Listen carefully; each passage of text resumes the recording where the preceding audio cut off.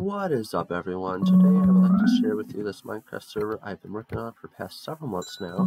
So it is unlike anything else out there. As you can see it's actually a Minecraft football server. That is right, Minecraft football. So what it is is two teams going at each other in just like a football game. There's different positions like wide receiver, quarterback, and they compete against each other, try to get to 21 first.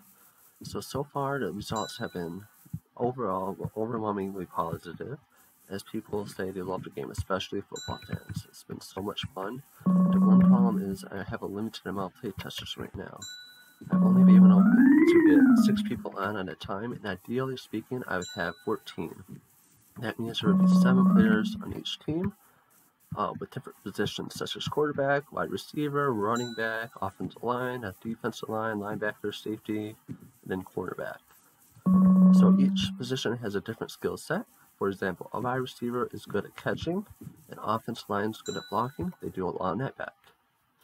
So, uh, the purpose of making this video today is I'm hoping to get some of you interested to join our Discord. It is an amazing experience. Help me out. Um, it's a ton of fun.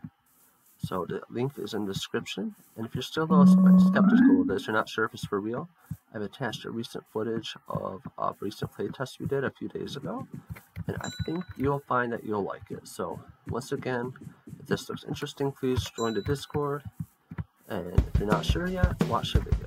Alright, hope to see you soon.